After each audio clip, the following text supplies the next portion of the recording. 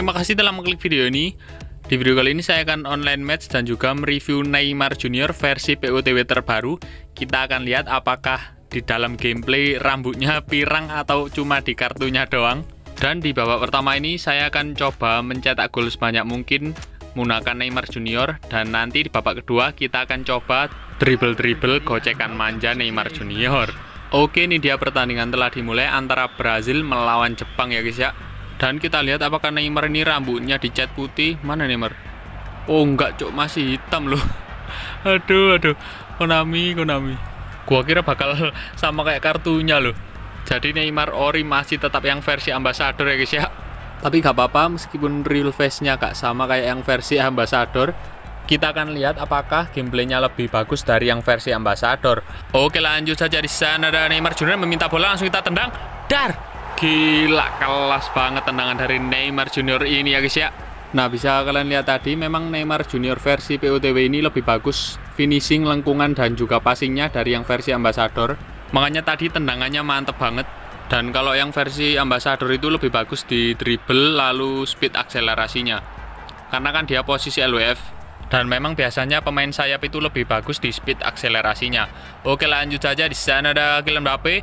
Ayo kejar. Nice dapat. Oke di sana Arnold langsung kita coba stunning cross. Neymar dar. Gila. Lagi-lagi ya guys ya, kelas banget finishing dari Neymar Junior ini. Nah, bisa kalian lihat finishing Neymar Junior versi ini memang lebih bagus. Dan kebetulan saya juga punya yang versi ambassador kalau Neymar Junior yang versi Ambassador itu memang lebih bagus speed akselerasi dan dribblenya makanya kalau kalian sering lihat gameplay saya menggunakan Neymar Junior versi Ambassador pasti saya lebih sering soloran dan dribble-dribble gocek manja karena memang speednya kenceng dan licin banget anjir Nah di babak pertama ini saya akan coba cetak gol sebanyak mungkin Kita akan review finishing dari Neymar ini Baru di babak kedua saya akan coba mereview gocekan manja dari Neymar Junior. Nanti kita akan lihat apakah Neymar versi POTW ini juga bisa melakukan suluran kayak yang versi Ambassador. Oke, kita lanjut pertandingannya di sana ada Rumenige langsung kita serepet nice.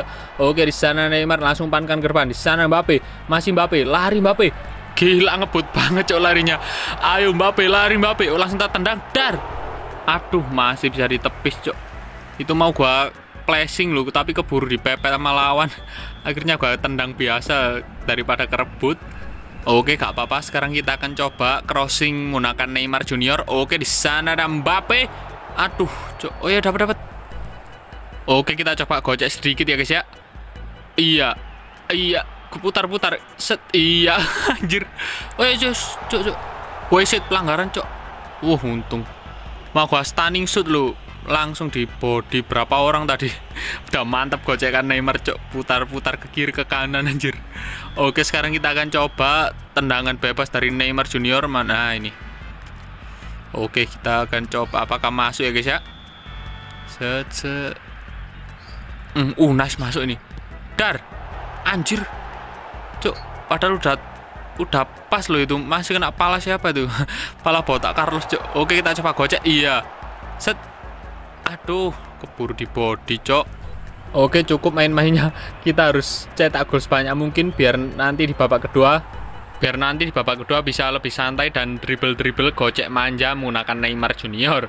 Oke lanjut saja di sana Neymar berikan pada Mbappe. Langsung umpankan oh nice ada kakak set. Iya, ngapain bos? Dar. Allah. Pelan banget anjir. Padahal udah kelas banget lo fix dari kakak tadi. Koli balik sampai kepleset anjir. Sayangnya finishingnya masih terlalu pelan ya guys ya. Oke lanjut saja di sana ada kakak diberikan kepada aduh masih dipotong oleh Campbell. Oke lanjut saja. Di sana ada Beckham mencoba membangun serangan di sana Mbappe langsung dah serepet nice. Oke di sana ada Arnold berikan kepada Kovacic. Uh langsung diserepet. Vieira badak juga anjir. Oke awas hati-hati. Diumpan ke atas nih. Uh gila. Iya ngapain bos? Lewandowski dibuat ngedribble-dribble loh. Oke, babak pertama telah selesai dan skor masih 2-0. Sekarang kita akan coba mereview gocekan Samba dari Neymar dan kita akan sedikit ubah formasinya. Karena untuk memaksimalkan dribble dari Neymar ini kita harus agak sedikit pindah posisinya ke sayap supaya lebih enak melakukan suluran karena lebih banyak ruang yang bisa dieksplor. Dan ini sedikit tips bagi kalian yang ingin melakukan soloran dribble-dribble gocek manja. Usahakan pemain kalian itu lari dari posisi sayap lalu menusuk ke tengah untuk melakukan tendangan flashing atau juga bisa lari ke samping dan melakukan umpan crossing. Karena apa? Kalau kalian langsung ngedribble gocek manja dari tengah kalian akan langsung dikepung center back dan DMF lawan. Dan pemain kalian akan kalah body dan pasti langsung turu. Beda cerita kalau kalian ngedribble dari sayap itu pasti lawan kalian kalau gak back sayap ya gelandang. Dan itu bodinya gak sebadak kayak center back dan DMF oke sekarang kita akan coba review dribble Neymar. Di sana ada mulut ke Neymar. Tak gocek iya. Nah oke kita coba soluran ya guys ya. Oke tak gocek lagi set. Iya. Iya anjir. Ah kan susah kalau ngedribble center back itu oke kita coba gocek lagi. Iya anjay. Aduh Campbell sampai turu anjir. Oke awas counter attack hati-hati Oke lanjut saja di sana ada Beckham langsung umpankan kepada Mbappe. Tidak bisa bos. Oke kita coba review Neymar lagi ya di sana ada Van Dijk diberikan kepada Neymar. Di sana ada Kovacic langsung umpan terobos. Nice. Oke kita coba crossingan dari Neymar. Di sana Neymar. Aduh cok. Langsung ditangkep Okan anjir. Oke lanjut saja. Di sana ada Kylian Mbappe.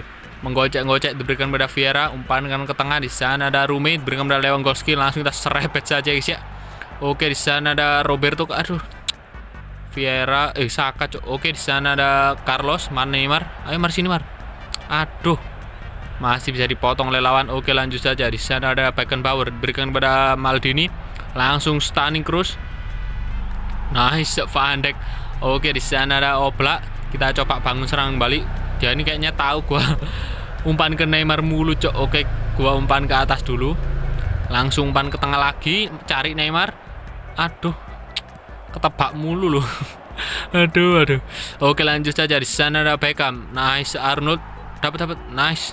Kovacic diberikan pada Casemiro di sana. Muller Neymar mana aduh. Nah bisa kalian lihat kalau dari tengah itu gitu. Padahal Kovacic baru nyentuh bola Langsung diserobot sama Beckenbauer. Makanya kalau ngedribble soloran itu enak dari posisi sayap. Oke lanjut saja di sana ada Mbappe.